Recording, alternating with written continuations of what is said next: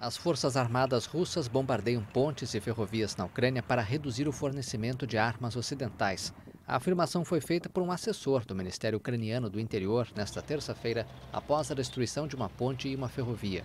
A ponte parte de uma rota transfronteiriça com a Romênia sobre o estuário do rio Dniestre foi atingida nesta terça por mísseis russos, segundo a empresa ferroviária ucraniana.